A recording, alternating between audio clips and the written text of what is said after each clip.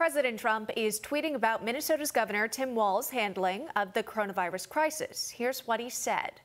Received a very nice call from Governor Tim Walz. We're working closely on getting him all he needs and fast. Good things happening. The tweet comes after protesters rallied against coronavirus stay at home orders outside the governor's mansion in Minnesota over the weekend as calls to reopen the country continue to grow. Joining us now is Mike Lindell, the CEO of My Pillow, a pillow manufacturing company based in Minnesota. Mike, it's good to see you. What's your reaction to what's happening in your home state? Do you think Governor Walz should reopen Minnesota? Yeah, I, I do. Um, I know there's a way to do it. I think there's a couple things going on here.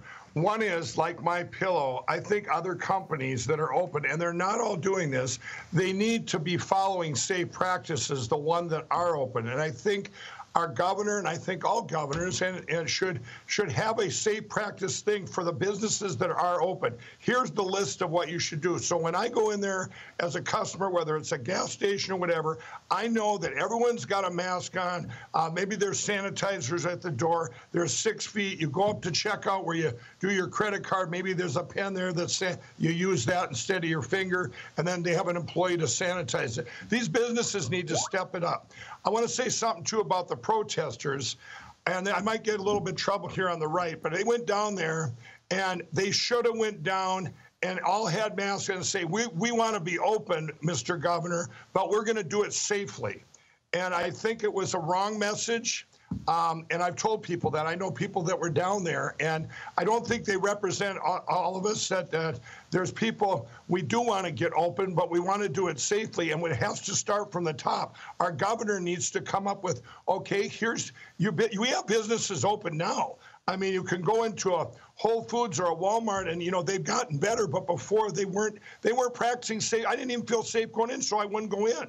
I want to be able to go in there, and if everyone's got a mask on, everyone stays six feet apart, you're protected. I mean, I, you know, the, and so I just think that there's there's things going on in my home state I have very big concerns about. I feel like we're going to be like one of the last ones open because of because of all this. of, of not not starting from the top with knowledge to to be a lead to lead and and lead it right and say, okay, like I think he opened, we're going to open golf courses. Well, what about our fishing? What about our other things? You've got to have a plan, and I think the plan starts with the businesses that are open, stepping it up and showing safety and then unifying it. Maybe having a governor's seal that these are, if you see a governor's seal and you walk into that business, you know what to expect. And if you get it, if it's wrong, then you don't, you know, it gets everybody, social media will take care of that if someone, if a business isn't stepping it up. Yeah, yeah, good point. And everyone's trying to learn this whole thing together, what they should do. It seems to be extremes from both sides.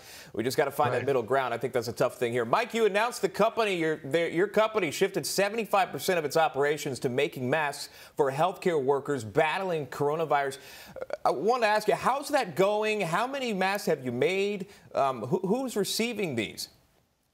Well, we're up to about seventy-five thousand a day, uh, or, about fifty thousand a day, I guess. Um, we're we had other companies that have called, called since I was at the uh, Rose Garden of all kinds of companies, hundreds of them call, wanted to help out. So we've uh, we gave some of them fabric and you know and got them making them. So what we're doing now, we've got so many coming in. It's about fifty thousand a day. I want to just keep keep making them as long as there's companies out there that need them. You know, your VA hospitals. I know we've done a lot of them.